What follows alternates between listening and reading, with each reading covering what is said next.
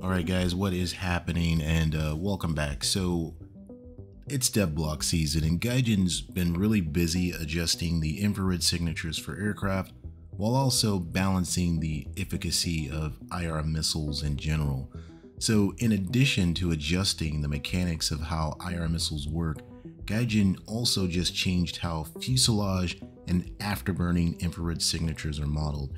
So from how I understand it, the infrared spectrum, you know, um, they're taking that all of that into account now. So the afterburning plume is now a separate IR signature from the fuselage of the aircraft. So I guess that's pretty cool. But lots of players seem to, you know, be asking Gaijin for more information, you know, outside of the dev blog that was put out. You know, what do these changes actually mean? So is Gaijin nerfing infrared missiles or are they buffing infrared missiles or are they just adding realism? A giant component of this, of course, is how IR missiles themselves are going to work after these adjustments. I mean, I've been playing, uh, you know, a couple matches here and there, and for example, the AIM-9L uh, seems to have taken an L, but I mean, it's it's not as good as it used to be. It definitely is uh, hungry for flares more than it used to be. But, you know, it's still a good missile overall. I fully expect more advanced infrared missiles like the AIM-9M and R-73, just to mention a few, are coming pretty soon. Probably um, not not this patch, I don't think, but maybe in the next patch after that. So these new missiles will have better infrared counter-countermeasure logic, and I want to break down here in general how IRCM actually works, meaning that this information is freely available on the internet. We're not talking about specific missiles because of course that is not releasable information by nations and it never will be. Alright, so what is IRCM or IRCM? So infrared countermeasures, flares, are based on a source of infrared radiation with a higher intensity than the target. So when an IR missile sees a flare in its field of vision, it may overpower the original infrared signal from the aircraft, the target, and provide erroneous steering cues to the missile, causing it to miss its intended target. Alright, so what is IRCCM then? So IRCM, I know it's a little bit confusing, Infrared missile manufacturers didn't just accept that their stuff could be flared, be decoyed.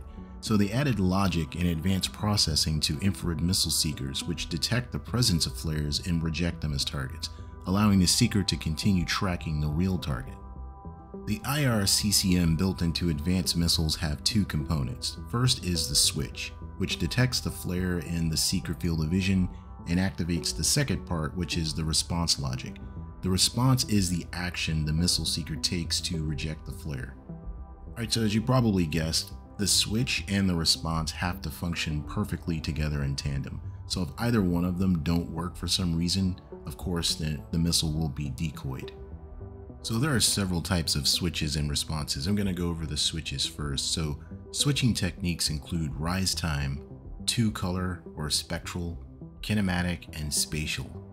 So the first one, rise time, this is where a missile employs a temporal switch, rise time, which keeps track of the target's energy level. A flare in the seeker field of vision is indicated by a sudden increase in the received energy within a fixed time window. If a seeker with a temporal discriminator noticed an increase in energy beyond a predetermined threshold during a preset window of time, the seeker would activate the infrared counter-countermeasure. Alright, so the next one here is spectral, and this is where a missile has a two color switch which samples the energy level in two different bands. A sudden jump in one band's energy compared to the other band's energy indicates a flare in the seeker field of vision. Alright, so the next switch is kinematic. Flares separate from the dispensing aircraft quickly due to their high aerodynamic drag. I mean, you've seen it in game. You hit the flare button, you know, they're out and gone pretty fast. So the missile's gonna notice that. It's gonna be like, hey, what the heck is going on? That is an abrupt change in line of sight rate due to the flare's rapid deceleration. Now this switch works best from a side aspect shot because, you know, the relative motion is pretty large. It really doesn't work really good as a kinematic discriminator if this is a head-on or a stern engagement because there, there just isn't much relative motion. Alright, the spatial switch uses the physical separation of the flare from the target to discriminate between the two. So as the flare separates from the rear of the aircraft, the missile seeker is going to see the uh, the target, the aircraft on the forward side of the FOV or field of vision, and it's going to see the flare on the rear side of the FOV. So once the seeker fully establishes that there are two hot objects on opposite sides of its field of vision, the switch to the infrared counter countermeasure mode is made. So what I've covered is the general way that a missile will detect that a flare is in its field of vision and then switch. So that's the first component. So what I'm going to talk about next here are the responses, like what is the missile going to do about it? So the responses I'll go over are the simple memory, the seeker push ahead, seeker push pull, seeker attenuation, and then there's electronic uh, field of vision gating and time phase blanking, which I'll probably just gloss over.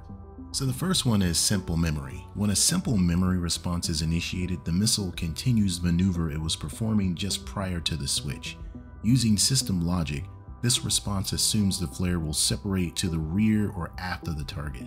The missile rejects the seeker track data from the flare and maintains its motion relative to the target, meaning it continues its proportional navigation intercept to the target. Now, proportional navigation, or otherwise known as PRONAV, is the guidance law which nearly all air-to-air missiles with a homing function use. So while the missile is homing on the target, it is concurrently waiting for the flare to leave the seeker field of vision. But there is a time component to this. The missile will continue to reject track data until the flare leaves the field of vision or the switch times out, at which point the infrared counter countermeasure kind of stops working and the seeker just resets back to normal track mode. If the switch times out while the flare remains in the seeker field of vision, the flare is successful, right? It decoys the missile. This is why it's important to drop your flares, reduce your infrared signature by coming out of burner, and then to maneuver in a new direction. Otherwise, the missile might just reacquire you because it, it's just extrapolated your flight path, do the pronav, and it'll be waiting for you. All right, the next response is seeker push ahead. The seeker push ahead response causes the seeker gimbals to propel the seeker forward in a direction of movement of the target. Pushing the seeker forward causes the flare to leave the field of vision faster than with simple memory, minimizing the amount of time the missile is not tracking the target. But the more push ahead, like the more degrees per second applied, the faster the flare will leave the field of vision. But if you do it too much, right, if the bias forward is too strong, the seeker may push ahead of the target, causing both the target and the flare to exit the field of vision. But this might not be a problem, especially if the seeker push ahead response is uh, in conjunction with another response like um, the simple memory. Now this next one seems to intuitively work with the spatial switch and this response is a seeker push-pull. So the push-pull is when a flare and target are on opposite sides of the seeker's field of view. As the energy of the target and the flare is scanned across the detector, the received energy will rise in full. When the flare's energy is at its peak level, the seeker gimbals pull the seeker away from it. When the seeker detects the least amount of energy from the target, the gimbals will pull the seeker in the direction of the target. As a result, the seeker shifts away from the flare and toward the coolest part of the infrared spectrum in the seeker's field of view. Alright, so the last one I'll talk about in detail here is the sector attenuation response. So an attenuation filter is placed across a portion of the seeker field of vision, making it less sensitive to objects in that portion of the FOV. If the target being tracked is in the center of the field of view, this, this attenuation filter is placed aft and below of the target, and it should reduce any flare energy received. The seeker will continue to track the target if the attenuated flare energy is less than the unattenuated target energy. Alright, so that was a lot of technical jargon there. I'll save you from the last two, um, which are FOV gating and time phase blanking. A little bit more complicated um, in, you know, how they do their response, but by now you probably get the picture. For infrared counter countermeasure logic to actually work, there's two parts. There's the switch and then there's response. So as you can probably surmise, Gaijin has an enormous, you know, uh, amount of leeway here, where when these new missiles come with their advanced infrared counter countermeasures, you know, Gaijin could basically, they can make all of this stuff up. Uh, they can make it as effective as they want it to be, um, whatever, you know, when it comes to balancing the sky's the limit when it comes to IRCM. Um, I hope they do it right. I hope they do it justice. I hope they can actually model some of these things. Like I said, they're never going to get the real information from the manufacturers and the nations because that information is classified. So they're going to have to just give their best corporate guess, their best college try when it comes to how they're, they're going to choose to implement infrared counter countermeasures in the game. Alright guys, I hope this has been useful information to you. If it was, you know, go ahead and hit that like button. If you're not subscribed to the channel, I know I hate to ask, but that kind of stuff actually helps channels like mine out, you know, to get out and get seen. So if uh if you are feeling good and you like what you got and you saw some value, hit the subscribe button.